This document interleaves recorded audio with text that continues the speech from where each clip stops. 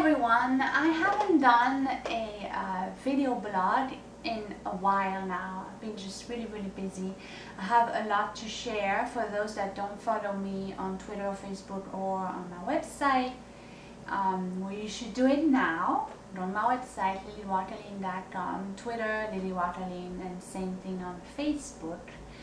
Um, well, lots of cool stuff have been happening um, the past uh, like six weeks to two months I had been uh, working a lot on preparing a show that happened last uh, weekend at the Bitter End in New York. Um, I had performed there uh, before um, for a showcase and I, was, had a really really good experience and so I was actually asked to uh, be the opening act for Bruce Sudano. That was last Friday. Um, he is this like legendary um, artist and producer and songwriter, a very discreet type of person. He uh, wrote and produced some songs for uh, Michael Jackson, Dolly Parton, um, and also his uh, late wife, um, Donna Summer. He had done especially the song uh, called um, Bad Girl for those that know her material. So um, I I know Donna Summer's music uh, a lot. My mom is a big fan. Both my mom and my dad are big fans of her music, and my dad knew about um, Bruce Sudano's music too. So it was, all very very cool and exciting experience for me. Um, so you can see the videos. They are I posted them um, throughout the week. I posted I think six different clips of the performance. So I performed with um, drummer Sam Sprosery. Um, I also wrote a couple of songs with him on my past few releases. Um, one was called Come and Hear My Story and the other one is Old Brother. He's a great songwriter. Um, so we get to perform for the first time together since you know he's a great great drummer. And in the set we also performed come and hear my story and that was it was really nice. We had a great time. It was great great stage great sound. Um, the place was insanely packed like it was ridiculous. It was crazy. You couldn't even go to the bathroom. There was a line. It was this craziness. It was awesome energy. I had the best time. Um, so yeah please go uh, see the photos. I had photographer Pat Bourque. I think I'm saying his name properly. Um, he came from Baltimore to uh, do you know photography coverage of the event they're all posted on my website. You should really go see them. They're beautiful.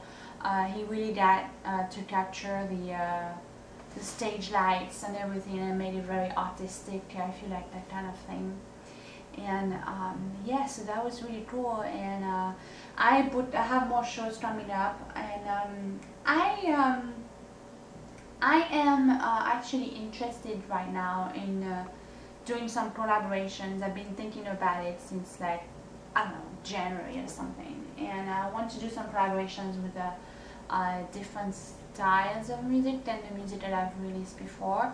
So I've been you know looking into hip-hop uh, remix or maybe also some uh, EDM remix of uh, one of my songs. I know it would be really cool because I have the I have some pop melodies and it's a little bit uh, dark sometimes and progressive and I think this EDM and that hip hop uh, could like, it can totally fit with that. So uh, this is what uh, I've been looking into and um, actually um, this afternoon I went to the open house of a, a somewhat well-known uh, studio in uh, New York City that does specifically hip-hop, R&B and stuff.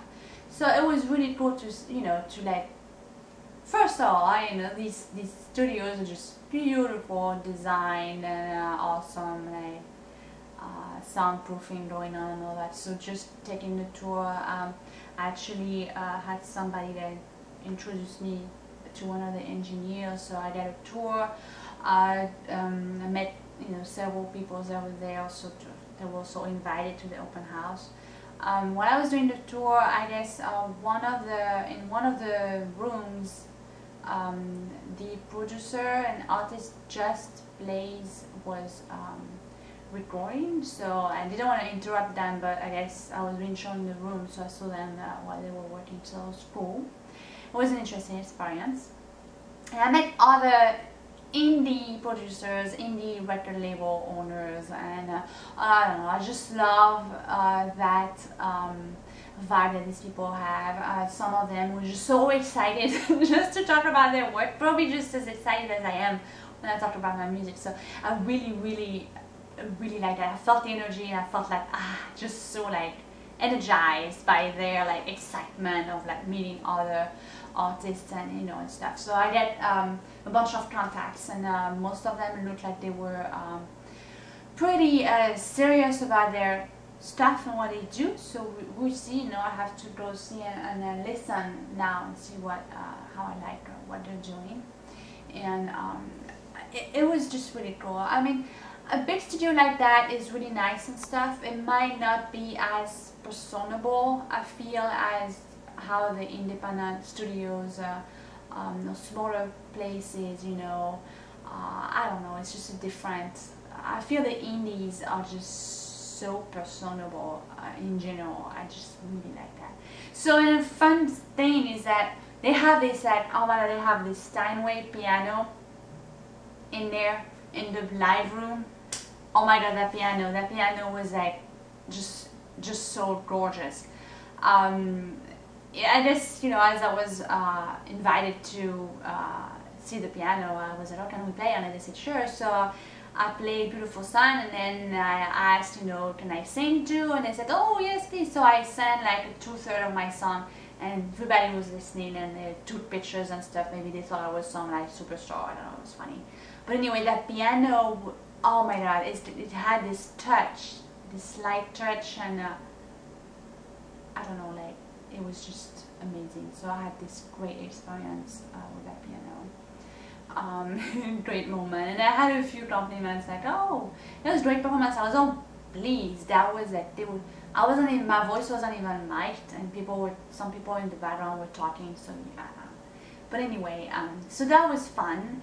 And um, finally the spring is here and it's warm out. I hope that where you are, it's staying warm as well if you are in the northern hemisphere.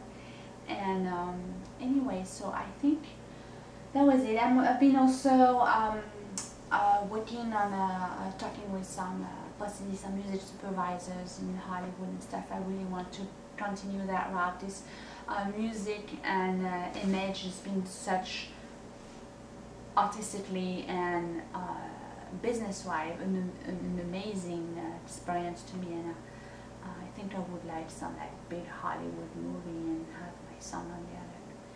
I think that that's really what I'm going for, so I'll continue that way.